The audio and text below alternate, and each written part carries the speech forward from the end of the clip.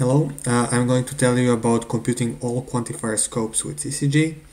Um, a sentence like every farmer owns a donkey is uh, an ambiguous sentence uh, and has two different readings um, shown below.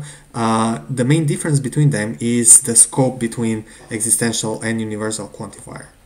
Uh, Steedman 2011 replaces all existential quantifiers uh, by Skolem functions, and we get two different readings by Skolem function getting two different arguments. Now, uh, these uh, uh, these uh, formulas with Skolem functions are computed over standard syntactic derivations, uh, uh, and we get two different readings depending on where do we specify uh, the arguments for the Skolem function as shown by the dotted lines on left and right.